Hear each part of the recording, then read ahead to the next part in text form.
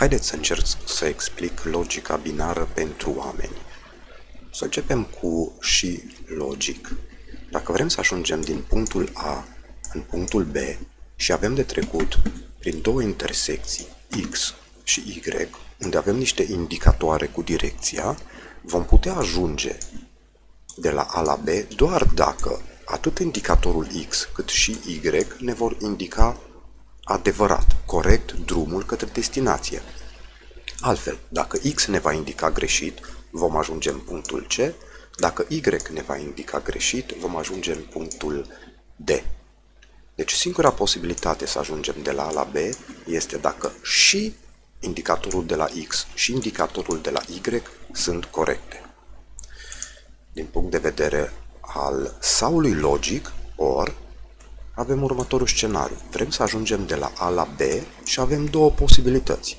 Peste podul X sau peste podul Y.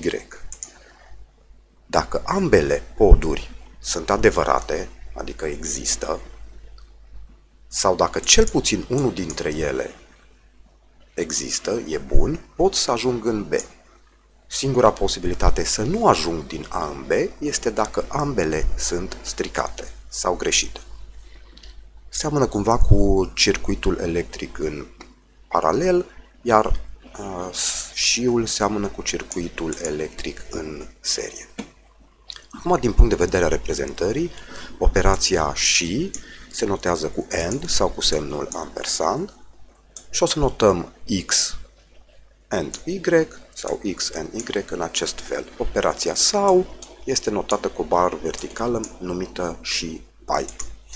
Acum X și Y o să ia valori de adevăr, acele indicatoare sau poduri. X și Y sunt niște variabile care pot să ia valoarea de adevăr true, notată pe scurt cu T, sau false, notată pe scurt cu F. Și dacă construim operațiile, o să avem în felul următor. Adevărat și adevărat îmi va da adevărat.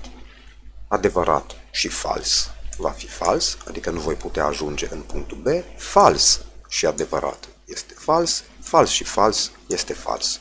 Deci singura posibilitate să ajung corect în uh, punctul B este dacă ambele propoziții sunt uh, adevărate.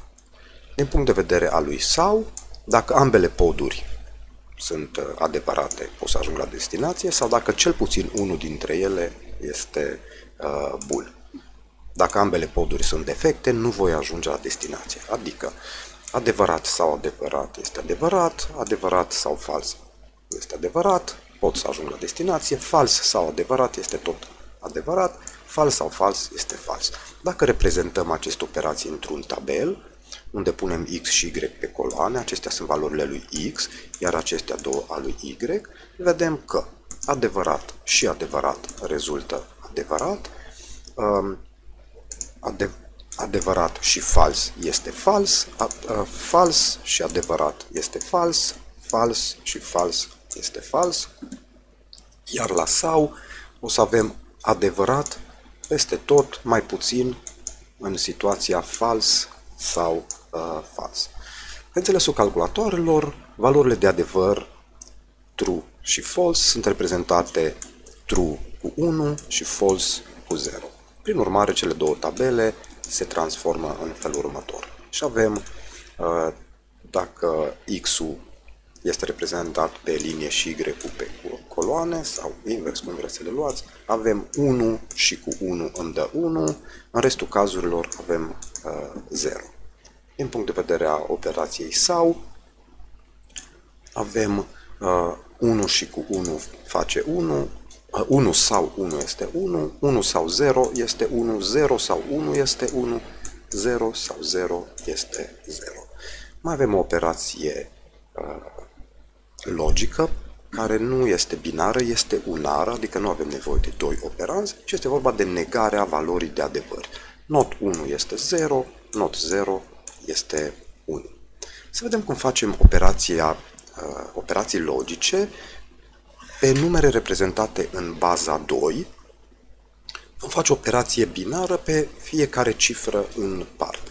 Prin urmare, să vedem cum arată șiul logic în acest fel. Dacă avem de făcut și logic între această valoare numerică în baza 2 și această valoare numerică în baza 2, vom aplica, aplica și logic pe fiecare uh, cifră corespondentă. Adică pe prima coloană 1 și 1 va fi 1, 0 și 1 0, 0 și 1 0, 1 și 1 1, 1 și 0 0, 0 și 0 0, 1 și 0 uh, va fi tot 0.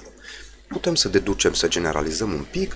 Dacă avem cifrele binare A, B, C, D, E, F și G, dacă facem și logic cu 1, valoarea va fi A, B, C, D, E, F, G, indiferent ce valori vor avea aceste cifre binare. Pentru că dacă A era 0 și logic cu 1 îmi va da valoarea lui A, deci tot 0, adică își păstrează valoarea. Acestea se mai numesc și măști pe biți, adică dacă aplicăm o mască de 1 cu și pe orice valoare numerică binară, valoarea îmi rămâne la fel. Dacă aplic o valoare, o mască 0 pe orice număr, îmi va transforma tot numărul în 0, pentru că și-ul logic cu 0 va forța orice valori, indiferent ce valori aveau cifrele A, B, C, D, F și G, la 0. Orul este un pic invers, în sensul că uh, trebuie cel puțin una dintre valori să fie 1, ca rezultatul să fie uh, 1, adică 1 sau 1 este 1, 0 sau 1 este 1, 0 sau 1 este 1, 1 sau 1, 1, 1 sau 0, 1, 0 sau 0 este 0, este singura valoare de 0, 1 sau 0, 1. Aplicând o mască OR de 1 pentru orice număr binar A, B, C, D, F, G, îmi va da, va forța numărul la 1. Și aplicând o mască binară de 0 pentru orice număr binar A, B, C, D și G, numărul va rămâne neschimbat. Sper că am reușit să mă fac decât înțeles. Vă mulțumesc!